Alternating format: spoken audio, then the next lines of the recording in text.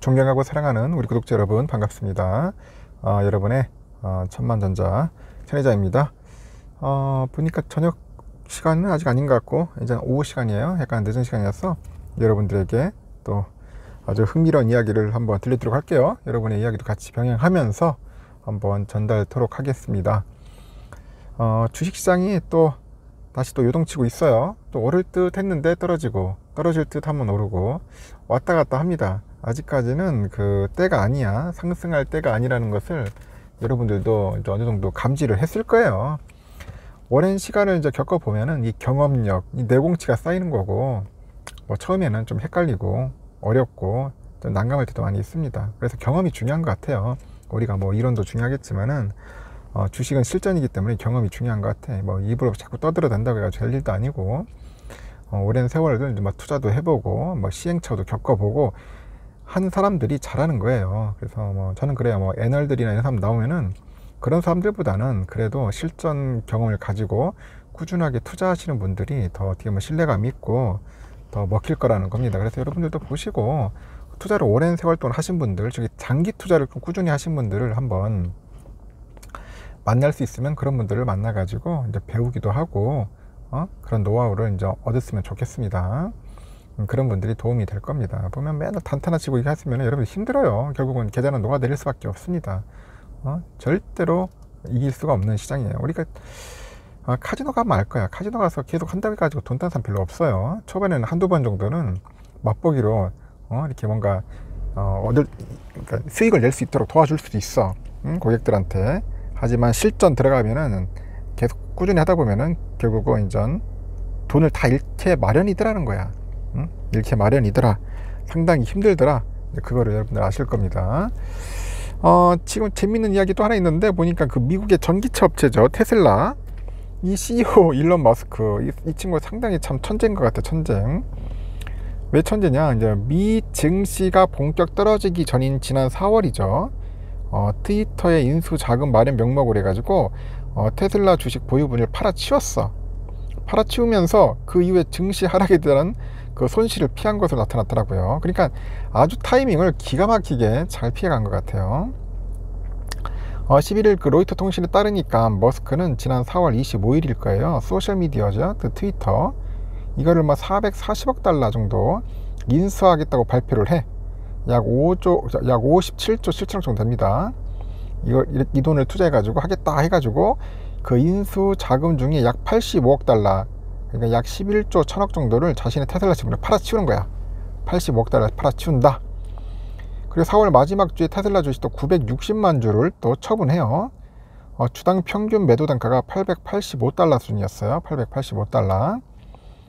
하지만 이후에 그 미국이 기준금리 인상의 속도를 내다 보니까 그 대표적인 성장주로 꼽히는 테슬라 주가는 한 19%나 빠져버려요. 쭉 빠지는 거야. 응? 그렇죠. 11일에도 6.6%, 6.5%나 빠졌죠. 종가 기준 703달러 될 것 같습니다. 어, 트위터가 머스크를 상대로 이제 소송전에 나설 방침인 만큼 머스크가 향후 이 과정에서 어, 수십억 달러를 쓰게 될 가능성은 있지만은 현재로서는 트위터 매입 의사를 밝히기 전보다는 어, 재정적으로 상당히 나아졌다는 게 로이터의 분석이다 그럽니다. 어? 아주 제가 볼 때는 이거 뭐 트위터를 가지고 논 것 같기도 하고 하여튼 상당히 뛰어난 친구 같아 머리가 아주 참 비상해요. 아니, 통상 머스크 같은 대주주가 회사 지분을 절, 그 대량 처분을 해보려면은 결국 어떻게 되겠어요? 소액 주주들이 반발하겠지 난리 나겠지. 논란이 뒤따릅니다 그러면은. 근데 머스크의 경우에 뭐냐? 트위터 인수 자금 마련이라는 그럴듯한 명목을 내세워버려.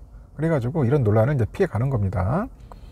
어, 시장조사업체도 그래요. 지금 수석 애널리스트 그뭐 아저씨가 그래요. 머스크가 어, 비교적인 고점에서 이제 테슬라 주식을 상당수 처분한 만큼 1년 전보다는 현금 유동성이 좋은 게 좋을 게 거의 분명하다. 어? 소송의 최종 결과에 따라 훨씬 나쁜 상황이 될 수도 있다. 뭐 그렇게 이야기를 하는데 하여튼 뭐 잽싸게 팔아치웠다는 거죠. 어, 지금 보니까 그 머스크와 트위터가 약 10억 달러 이상의 위약금에 합의할 가능성이 있다고 하는 것 같은데 약 1조 3천억 정도. 머스크가 위약금을 내더라도 트위트를 보유하는 데 따른 그 위험을 그 피할 수 있을 것이라고 평가하는 사람도 있어요. 그 머스크는 여전히 테슬라 지분의 약 16%, 16% 정도 한 1150억 달러 정도 갖고 있어요. 약 우리 돈은 한 150조, 한 9천억 정도 갖고 있는 것 같아요. 테슬라 주식을 상당수 갖고 있습니다. 어, 머스크는 4월에 트위터 인수 계획을 공개하기 전인 그 지난 1월에서 4일 26억 4천만 달러를 들여가지고 트위터 지분 7,300만 주를 주당 평균 36달러에 매입을 했습니다. 36달러 매입을 했는데 그 최근에 트위터 주가 하락에 따른 평가 손실액이 벌써 2억 달러 수준이라고 합니다. 한 2,625억 정도 되는 것 같아요. 하여튼 참 보면은 어, 우리 일론 머스크 아저씨는 어? 나는 사람이야 나는 사람. 응? 하여튼 모르겠습니다. 참 이게 저거 나, 나쁜 쪽으로 자꾸 머리를 쓰면은 결국 나중에는 그 결과도 좀 안 좋아져요. 어, 제가 볼 때는 하여튼 뭐 쪽으로 사람이 이렇게 선하게 행동을 해야지 어, 자꾸 뭔가 잔머리 굴리려다 하다 보면은 결국은 된통 당하더라고요. 역, 역사가 그걸 또 입증해주고 모든 일들이 그래요. 저는 항상 순리대로 가야 한다 그렇게 생각을 합니다.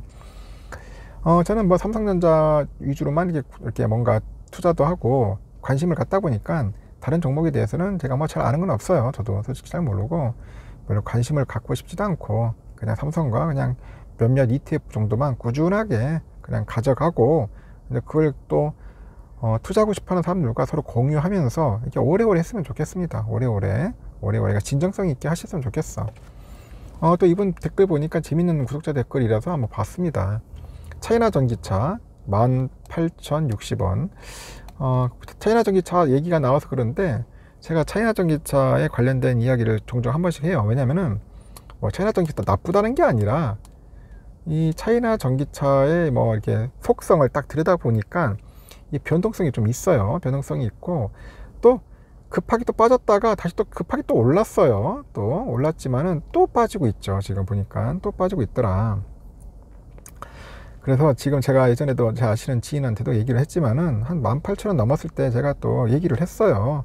얘기를 해가지고 그때 좀 정리할 건 정리하는 게 좋지 않겠나 해가지고 정리를 했어요.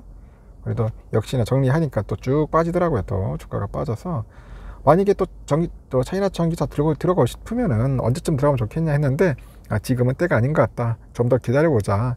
그 이야기를 한 거죠. 그 나중에 또 기회 되면은 그때 또 들어가려고 합니다. 근데 제가 이런 거 얘기를 하면은 괜히 뭐 단타를 유도하는 것 같아서 그런 얘기를 하고 싶지는 않아요. 뭐 얼마에 들어가고 얼마에 팔아라 이런 것은 아닌 것 같더라고. 저도 그렇게 막 하고 싶지도 않고 음, 워낙 이제 가까운 분이다 보니까 이제 얘기를 했고 음? 그분 자체도 이제 뭐 수익을 남기고 싶어하는 것 같아서 그러면 그 수익을 남기고 뭘 거냐? 삼성전자는 좀 좀 더 모으는 게 안 낫겠냐? 삼성전자 삼전에 좀 투자를 해라 오히려 적절하게 좀 수량 늘리고 어, 그런 이야기를 좀 한 적이 있는데 마침 보니까 이분도 완전 어, 매도를 하고 삼성전자 같은 걸 모은 것 같아요. 이제 필반나 목표 수량 달성했고 5천주 그리고 이제 삼성전자 우선주와 필반나만 두 종목만 앞으로 가지고 간다. 뭐 그런 이야기를 하는 것 같습니다. 어, 저는 필반나도 나쁘게 보진 않아요. 필반나 나쁘게 볼 필요도 없지. 좋게 보야죠. 이게 반도체 섹터라서. 어, 지금 주가가 개판이죠. ETF 솔직히 많이 빠졌어요. 한 1000포인트 정도 빠졌어요. 필반나도. 그래서 지금 기회가 됐을 때 부지런히 모아 두면 나, 나쁘진 않을 거라고 봅니다. 그래 우선주랑 필반나 두 종목 괜찮아요. 아마 센스 있게 잘 판단하셔서 소신껏 투자하시면 됩니다. 그래서 제가 차이나 전기차 나쁘다는 게 아닙니다. 어, 근데 장기 투자하기가 조금 찝찝한 사람들도 있기 때문에 이제 그 얘기를 하는 거고, 아, 좋으면 하면 되지 뭐. 어, 자기가 확신 갖고, 어, 차이나 전기차 좋다고 하면 하면 돼요. 투자하세요. 흔들리지 마. 하지만 그렇지 않다고 하면은 어차피 우리의 주식 투자라는 게 그렇잖아. 또 어느 정도 이익을 남기면은 또참 수익이 달성할 때쯤 되면은 또 이익을 남겨야 할 거 아닙니까? 그 이익을 남겨가지고 또 다른 데 또 재투자하는 그런 게 당연한 거니까 그런 얘기를 잠시 해보는 겁니다. 근데 좀 약간 고점에는 될 수 있으면 물리지 않았으면 좋겠어요. 이제 그런 차원에서 하는 겁니다. 좀 빠지면은 어, 들어가세요. 빠지면은 그때 조금씩 좀 모아가지고 어, 수량을 채우셨으면 좋겠습니다. 어떤 분은 뭐 차이나 정기차는 있지만 어떤 분은 또 어, 필라델피아 반도체나 뭐 우선주 뭐 아니면 뭐 S&P, 뭐 나스닥 뭐 이런 식으로 많이 모으니까 어, 그쪽으로 해서 여러분들 잘 포트폴리오 짜가지고 원하는 만큼 하시면 됩니다. 하여튼 여러분들이 성공했으면 좋겠어요. 그래야지 저도 좋은 기운을 받아가지고 더욱더 열심히 꾸준하게 어, 투자할 수 있으리라 봅니다. 여기까지 하겠습니다. 여러분 어, 즐거운 오후 시간 보내시길 바래요.